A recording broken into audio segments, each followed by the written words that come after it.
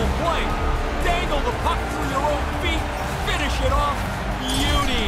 That deserves a proper celly on that one. I think this goalie's going to look up at the clock and see just exactly how much time is melted away. It's going from bad to worse for these guys.